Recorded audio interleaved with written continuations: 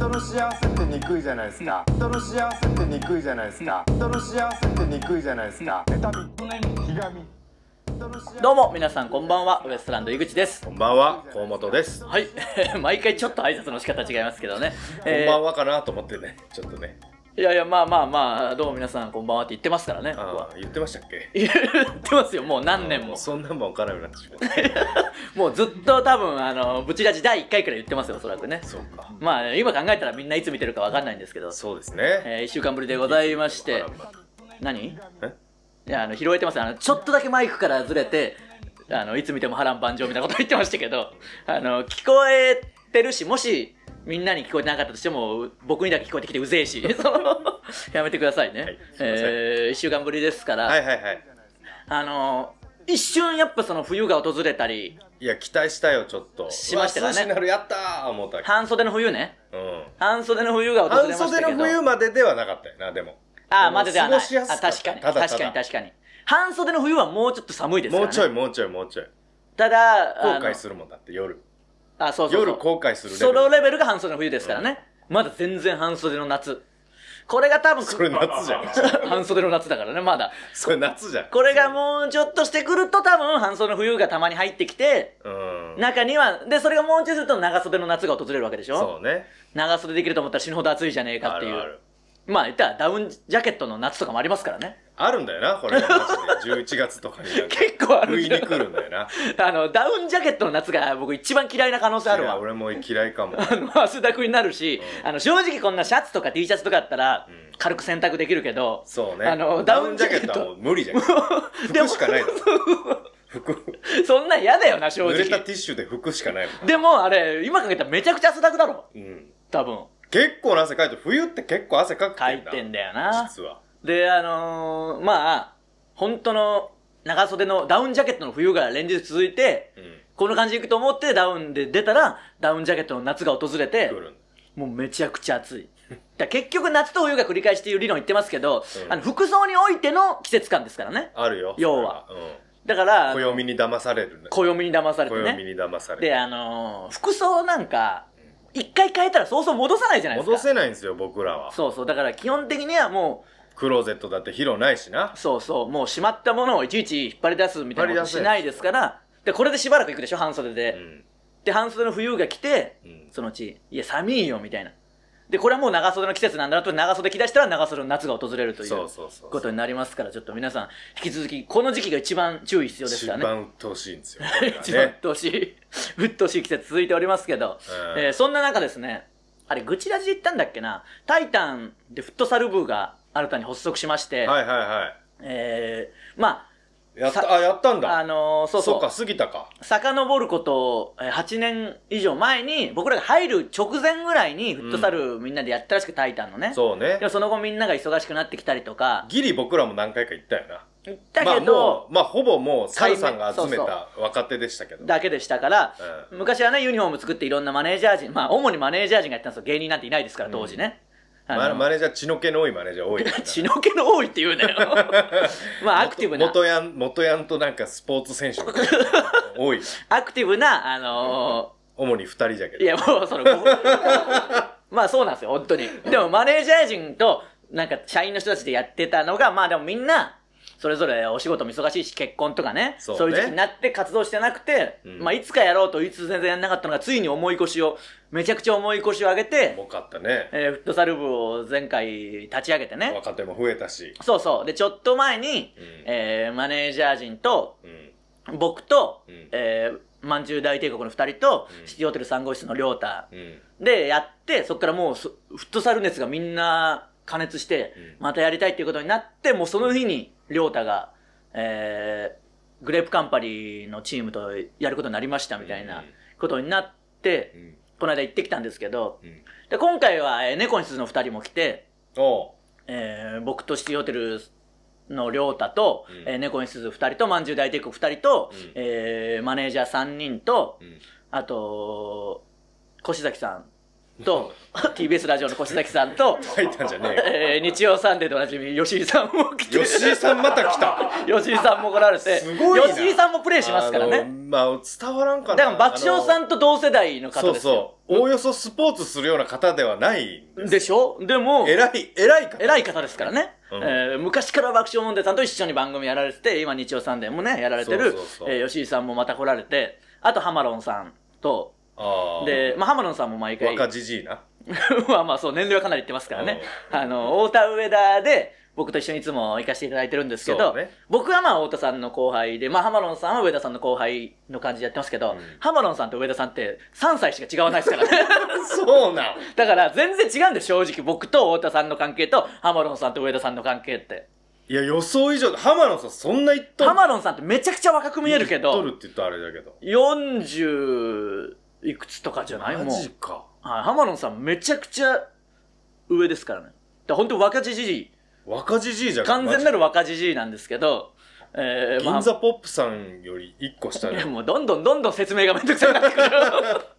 えー、まあでもそのハマロンさんと、とあと相手はグレープカンパニーの、うん。えーカカロニの菅谷君ってあのワールドカップでヘディングしたうことで結構一世を風靡したというか、いわゆるバズったというか、んうん。話題になってた菅谷君がフットサル場でバイトしてて、あそんなになんじゃもだってあいつ本当にめちゃくちゃすごい。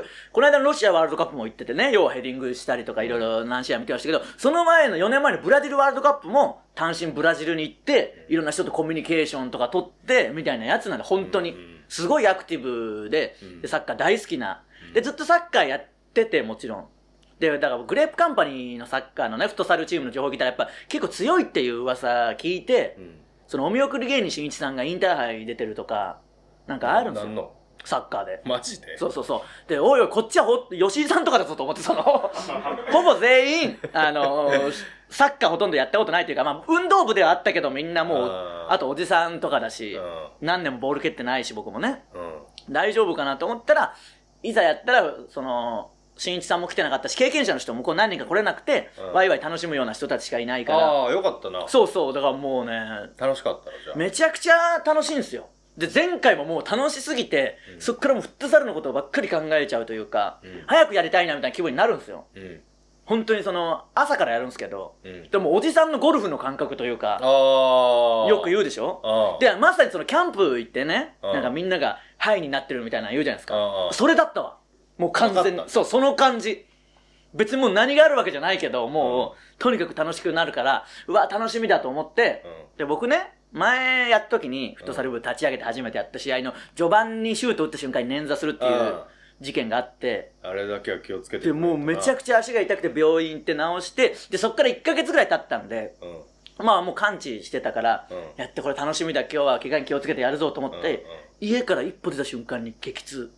え？と思って。なんて？いや、その朝方雨が降ってて、う多分気圧の変化でんうわー古傷が痛むみたいになって、おっさんじゃがめちゃくちゃ痛い。でももう本当に泣きそう。あんなに楽しみにしてたのに、みたいな。うん動けんぐらいそう、もう動けないぐらい痛くて。走れんぐらい？いや、走れるとこじゃない歩くことすら困難なえぐらい痛くて。そんなに？みたいな、本当に。やだよ、こんなに楽しみにしてるのに。なんなら朝にみんなのグループラインにフットサルの、ん今日は頑張りましょう、みたいな。送った後、一歩踏み出したら、激痛になって。え。ーで、歩いてちょっとずつ良くなってきて、多分まあ気圧の変化で傷んでるっていうのはあるかうん。ら、で、どうし、痛いけ、これ大丈夫かなと思って、いざフットサル会場に着いて、うん。そしたら、あの、菅谷君が、カカロニ菅谷君に、ちょっと足が痛いんだけどってテーピング巻いてくれて、テーピングでガチガチに固め、もう、だから、スラムダンクのゴリみたいな感じですよ。もうガチガチにとにかく固めてくれと。やりたいからね。で、ガチガチに固めてもらって、うん。そういうのもやっぱできるんだって、フットサル場でバイトしてるから。ああすごいな。そうそう。もう。バイ、トまでサッカすごいよ。で、フットサル場もか、ね、予約もしてくれて。ー、うん。で、みんなで、たのやっぱ楽しんでよ、もう。別にみんな上手いわけじゃないから、うん。もう、とはいえ一生懸命やるし、うん。なんかもう、汗かくのも気持ちいいし。きじゃもんなみんなそう。なだから汗かくのも気持ちいいし、うんもう最高で猫に進む二人も初めて来たけど、もう楽しすぎて、うんもうなんか、本当にこれもうすぐやりたいよ、みたいな。た立野さんがもうんう、いや、最高だよみたいな。最高すぎるみたいな、ずっと、ずっと言って、うん何が最高かって思ったけどみんながいるから最高なんだよ。仲間最高とかなんか変な 変な感じえ変な方に。もう変な感じになって、でもみんなわーって楽しいなみたいな、もう感じなんですよ。でその後飯食いに行ってももうめちゃくちゃうまいんで唐揚げとかめちゃくちゃうまいからね。あしでも知っとるそれ。もう俺もあのあれタッチラグビーやった後にあービールロケでねめちゃくちゃうまかったもん。何が？ビール。まあビールも確かにうまいんですけど飯がうまいんだよとにかあく飯か。飯もうまいよもう動いてね腹減ってるから、唐揚げとかがいつものもう10倍ぐらい美味しいんだよ。米がむちゃくちゃうまい。米がむちゃくちゃうまい。本当に学生時代思い出しておかわりみんなしまくりますからね。でフットサルやるけん朝食わずに行くけんむちゃくちゃ腹も減っとる。腹も減ってで12時ぐらいに終わるんですよ、朝からやってるから。ちょうどええが。で最高だな。もう終わった瞬間からみんなテンションめちゃくちゃ高い。最高だみたいな。腹減ってな。腹も減ってきてでもう舘野さんとかももういや最高すぎるよ。もうこれ本当に楽しいじゃんみたいなみんななっていや舘野さんこっからまだ飯ありますから。この飯がもう最高にうまいですよみたいな。話になってそこで飯でおのおのおのおのの思い出に残った。自分の中で思い出に残ったプレーをかみしめながら食う飯がうまい。本当にうまいし、で、ライブとかなきゃ、まあ言ったらお酒も飲んでもいいし、みたいなね。あ。で、行ってどこで食べようかな、みたいな。でも、どうせならこう、みんなでこう囲めるようなテーブルが、大きめのテーブルがあるといいなとか言って、うんじゃああっちの方にちょっと定食屋みたいなのあるから行ってみようかって言ってたら、うんその手前に中華料理屋があって、うんここいいじゃんと思ったらビールもあるし、みたいな。ん生ビールまさかの98円。安い もう最高だみたいなみんななって。最高だがもう笑けるぐらい安いんで、98ベロベ円ってみたいな。でも、それで、やったやったって行くけど、うん前、愚痴立ちの方でも言ったけど、飯めっちゃ食うからビールなんか飲めないんで、正直。もう飯に重きをみんな置いてるから。腹減っててど。っちかだよなそうそう。で、あの、僕もその日ライブなかったからビール飲んだけど、確かに一杯目とかめちゃくちゃうまいけど、もうそっから飯。飯だよなそうそう、飯になる。俺もどっちかだなもうそう。で、もう、で、そう、中華料理屋さんで中華料理、こう、ランチメニューみたいなって、それも別に安いし、うんおかわり自由ですとかなんで。5600円とかでねもう最高で、で、その猫西の山源さんが、あの、なんか、偶爆、偶爆鳥長焼き定食みたいなの書いてあって、ううう何やこれみたいな。これをしてみるわみたいな。んうん。言って、その店員さん、店員さんも多分その、中国とかの方なのか、うん。で、これ、この偶爆鳥長焼き定食くださいって言ったら、は？みたいな。あ、違うの？読み方が違うのかと思って、その、え、これなんて言うんですかって。あそれあのー鶏の揚げたやつですとかいう、その、ベタなコントみたいなことも起きつつ、なんでこっちがこれ言ってんの？そっちはそうなんだみたいなことありつつ、でもそんなことでももうみんな大盛り上がり。あとビールが98円でもうしばらく笑けますしね。いやそれすごいそんな安いんかいっていうのもあるし。うんで、もう最高に楽しくて、そこ普通に聞きたいわいや、そう、本当に そんなんラッキーですからね。うん。たまたま見つけましたから。で、もうみんな盛り上がってまたすぐ やろうみたいになってるんですけど、うん。そしたらもうユニフォームも今度作るっていうことになって、らしいですね。そうそう。で、マネージャーさんがデザインとか考えて、それもかっこいいし、うん。もう最高だみたいな。ね、その笹井さん、うん。マネージャーの笹井さんがユニフォーム作って。太田さん、のねマネージャーさん。そうそう。で、あのーじゃあ好きな背番号を言って、で、名前も入れられるし、うん。で、どんどんそれで決めようみたいな。うん俺、じゃあ7番はいただきますみたいな笹井さんが、それみんなのグループラインに。うん。まあ、笹井さんがユニフォームも考えてくれたし、あの笹井さん7番が好きらしいんで、まあまあそれはまあいい。んじゃあ7番でみたいになって、まあ僕もなんとなくそのグループライン見つつ、うん。どうしようかな、そういう番号とか考えてたら、うんその後、まんじゅうにね、他のライブとかで会った時に、うん。あどうすんのフットサルの？みたいな。いや、井口さん、あの、早く、つぶやいてくださいよ、みたいな。つぶやいて、あの、コメントしてくださいよ。後輩たちやっぱ井口さんが先に決めてくれないと気遣ってますから、まあみたいな。ね。一応そのフットサルの中では上としてやってるし、うん。じゃないとみんな決められないですから、あ、そうか、それは申し訳ないなと思って、あみんなそう気遣ってくれてんだと思って、あ、じゃあなんか早めに決めて言うわと思って、うん。パッてグループライン見たら、うん。あの、シティホテル押田、2番でお願いしますって、一回も来たことないです。一回も来たこともないのに、誰よりも先に申請。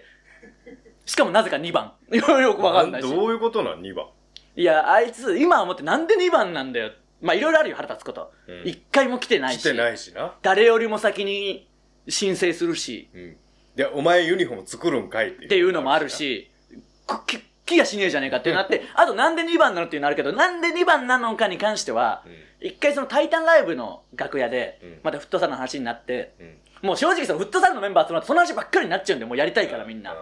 で、そういう話まんじゅうとかとしてて、おしとさん来るんすか？とかうん。言ったら、いやいやいや、行く行くと俺もやりたいよって、やったことあるんすか？って。いやいや、全然ないけど、みたいな。うん。なんか、じゃあ、えーどうするんすか？みたいな背番号みたいな。で、まんじゅうがちょっと、まんじゅう大帝国のエーマが、うんサッカーでちなみに一桁の番号しかないっすよ、みたいな。うん。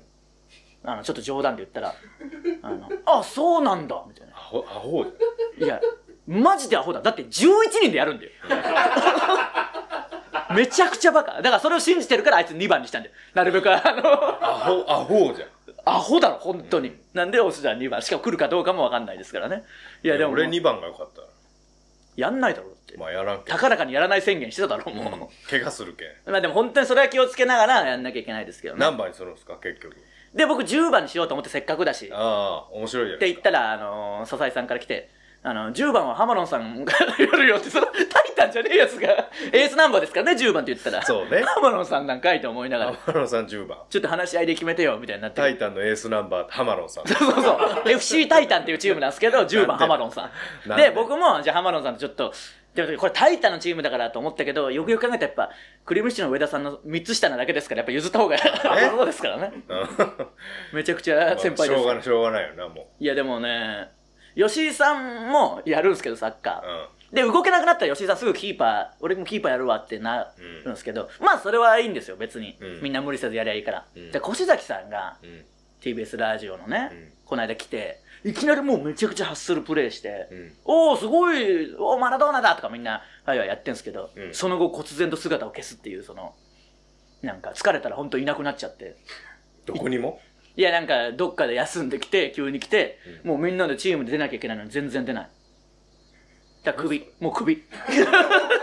越崎さんもう首。何それ。いやわかる。いやでも本当に多分自分の思ってる以上に疲れるから、みんなペース配分考えながらやってんのに。あもう死ぬほど疲れたんだ多分。1分でね1分で1分かいいやでも本当に疲れるは疲れるんですけど、まあ、まあね。心地いい疲れなんでちょっと無理せずね。肺がちぎれそうになるもんなあれ。ダッシュしたらね。急にやったそうそうそう。だからみんな無理せずうん。楽しくやっていきたいと思いますからね。またちょっとあの下手なチーム募集して。うまいチームだったらもう最悪ですからね。まあなんかいつかやったらええのにミスって。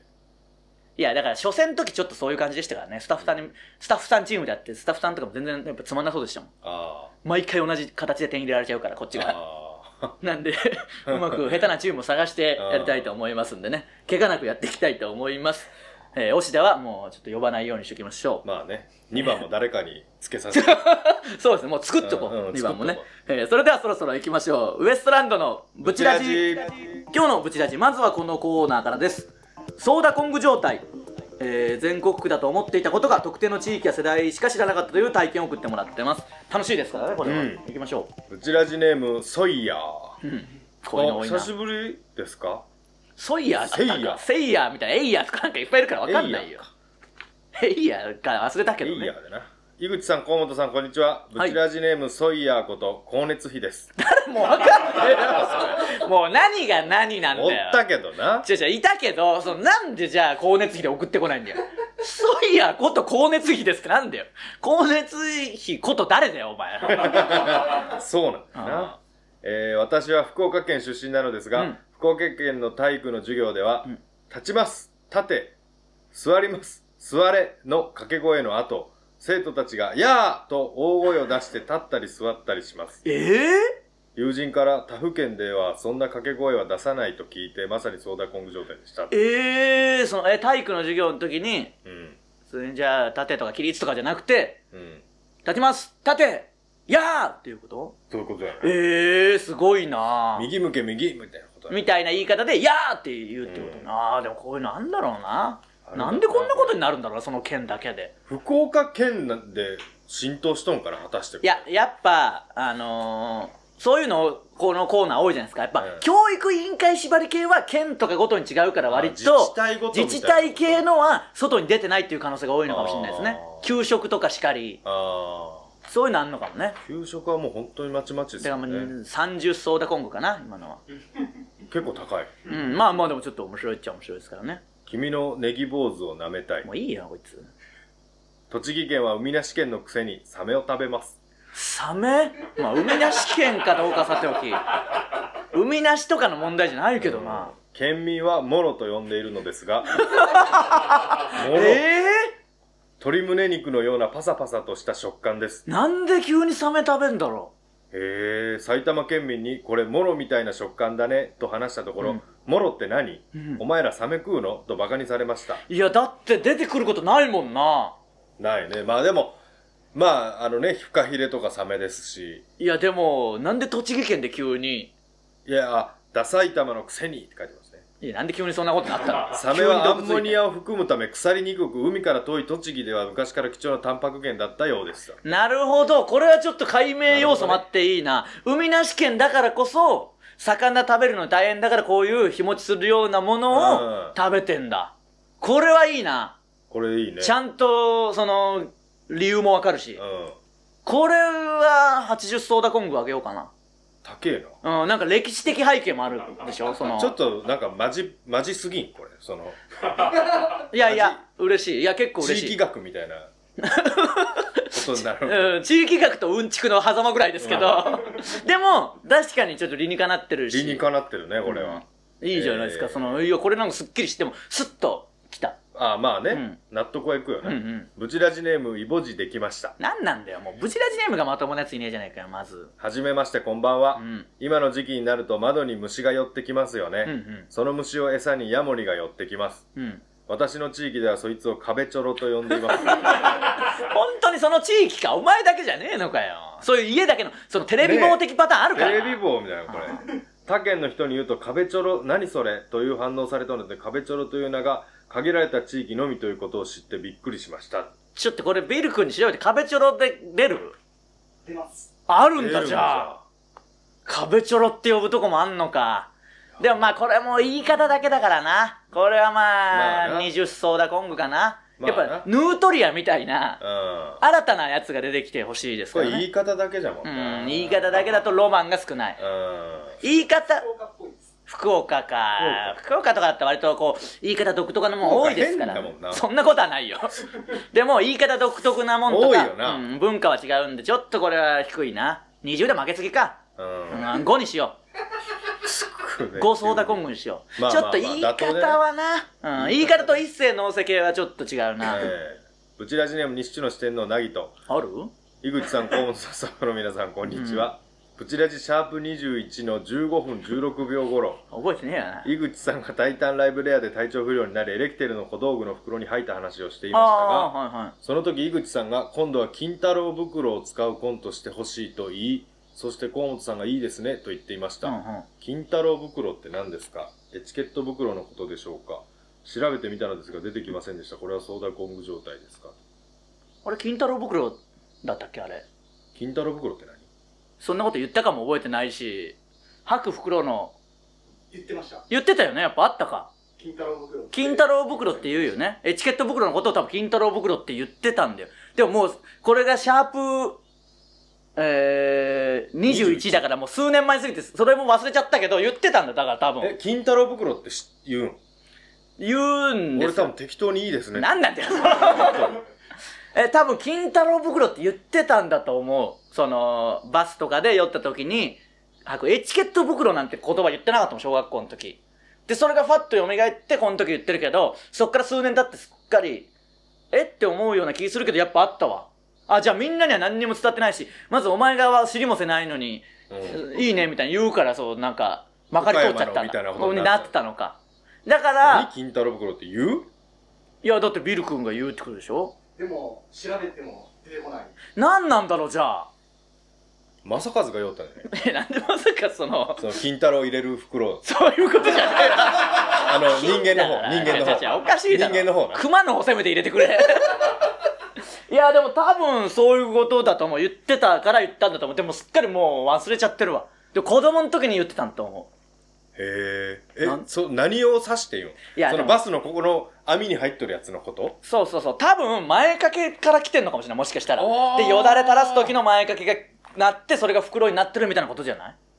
あ納得いった今、それ思いついたけど。気持ちえだろ？え？あ今思いついた今思いついた。急に。その時は何も思ってなかったけど、多分そういうことっぽくない？気持ちええなそれいやそういうことだろ多分そうだよな。ああー、これはそうか。えーじゃあまだまだ知らず知らずの間にソーダコング状態になることがあるな。あるで、ましてや僕ら同郷でやってるから、そうそうそう気づかず進むこともあるし、まだここで発してない言葉で知られてないのもあるかもしれないですからね。えーどんどん送ってきてもらいましょう。えー以上、ソーダコング状態のコーナーでした。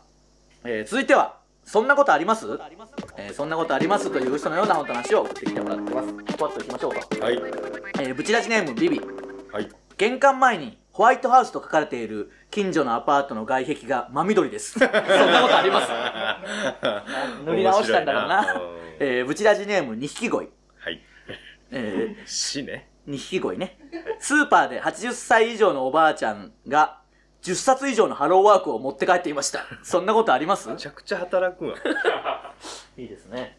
えー、ブチラジネームヤウカッちゃん。はい。コンビニに買い物に行った際、お釣りの23円を勝手に募金箱に入れられました。そんなことあります、ええーレジのお姉さんが謝ってきましたが、可愛かったので大丈夫ですよと言って許したとさ。ああ、まあまあ、とっさだったんいや、前の人がこれ募金しといてくださいみたいに言ったので、その流れでやっちゃったんでしょうね。ブチラジネーム G シャック。腹立つなえー炎天下で油揚げで汗を拭いてるおじさんがいました。嘘つけやそんなことあります？嘘つけいや、あったんでしょうね。えーするわけねえだろうが、あんなもん。いやいや、まあね、タオル地のものが何もなかったんじゃない？いや、嘘だろ。絶対嘘や。えー以上、そんなことありますのコーナーでした。えーエンディング、いきますか？いエンディングにしましょうか。えーエンディングいきましょう。えーこ告知です。えータイタンライブレア、こちら9月10日月曜日19時スタートでございますのでね、はいサムザー佐賀でございます。チケット発売中ですのでよろしくお願いします。ますえーブチラジは YouTube と Podcast で配信しています。えー YouTube でご覧の方は高評価ボタンを押していただけると助かります。すべてのコーナーへの投稿は、えー動画の詳細欄の URL からフォームへ入力してください。ステッカー T シャツを希望する方は住所氏名忘れずに書いてください。願いえー公開収録も迫ってきましたからね、ブチラジの。あ、当日券がちょっと出ますね。えー若干出る、若干出るって、バシコバ社長はおっしゃってましたからね。はいまあ、その辺も何もする、何をするかも含めて、またね、、はいろいろ会議していきますし、ちょっとどんぐらいの気温になってるかわかんないですからね。うーん。もう完全にセミがまた、セミもう完全夏じゃん。これから夏じゃんな。いや、ちょっと、あのーあれも決めねえけんが、小林社長のあの、ああれを。あオープニングアクト。トも出てこなくなってるから。小林社長のあれ、あれ、みたいな。まあ、そうですね。君の膵臓食べたい見たけん。あ、なんかそれに絡む。なんでその、キンキンに見たものでなんかさせるんだよ。なんか、急に。膵臓食べさそう。関係ねえじゃねえか。そういうことでもねえし。そうい君うこと？の、君の膵臓も食べたい。いいよ、膵臓も、も食べたい。まあいいよ。他も食べとね。怖いや、わかんねえ、怖えし。全然意味わかん。なんだその怖いだけの話。もっと食べたい。だいいよ。なんで膵臓だけ別個にしたんだよだとしたら。そういう話じゃねえし、金太郎を袋に入れるのも変だし。ちょっとでもあの、ソーダコング状態本当にたくさん来てて、これ楽しいな。楽しいねうんあの、いろいろ知れるし、これ本当に世の中にめちゃくちゃあるんだろうなあ。るこれって僕らが初めて踏み込んだ領域の可能性あるぞ。パイオニアかな。パイオニアの可能性ある。意外とみんなもう、ここでこうちゃんと交流してないというか。ああ、意外とな。だってまだまだ、こんなに配信僕らもやってんのに、うん。あの、まだ新しいこととかもあるだろうしヌートリアなんてつい最近ですからね。うん。マジで知らんかったもん。いや、そう、本当にそうですよ。あの、アントワネットの小沢くん、うん。王子の相方ね、うんあ動物園大好き動物大好きだからでブチラジも大好き動物とブチラジをこよなく愛してるからあいつ必ず袖で僕らのネタ見るよな。めちゃくちゃ好きですからね僕らのことを書き起こしもしてましたからね 書き起こした末に意味ないっていうことに気づいてましたからうん。なんでこれ。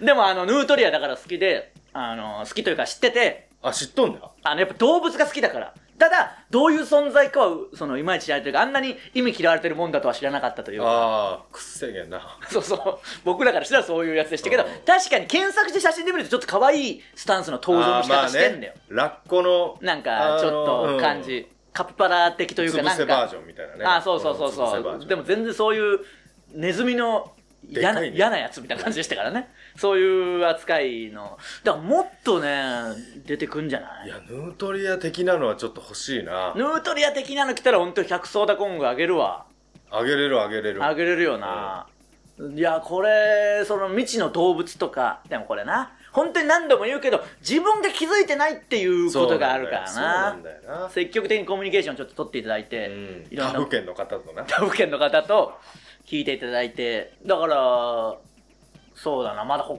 海道とか行ったらありそうですけどね。りょうたか。シティホテルの亮太とまんじゅうのエーマは北海道とかだからな。あいつらちょっと聞いてみようかな。でもあれ、ナチュラルにバグっとるけんな。そんりょうたとか亮太だってねフットサル来てますけど相変わらず腹巻きしてやってますからね。そうそう。うん汗だくんか腹巻きにユニクロのエアリズムでやってますから。むちゃくちゃやん。どういう状況でフットサルしてる？腹巻きが白いけんなあのスポブラみたいなやつにあつけとんだの上にシャツ着るとね。あいつでも まあそうなんですよ。変態。変態プレイヤーですからねえーフットサルもやっていきたいと思いますしね、はいちょっと公開収録に向けてのコーナーも考えていきたいと思いますし、はいえーソーダコング状態どんどん募集しておりますんで、そうですねあのー知りたいこんなこといいのかなっていうことでも送ってみてください。あそうですねみんなが驚くことはあると思いますからね。えーそして、タイタンライブレアの方も、えー迫ってきておりますので、よろしくお願いします。ウエストランドのブチラジ、今週はここまで。また来週、さようなら。ありがとうございました毎週木曜夜8時はウエストランドのチャンネル登録お願いします。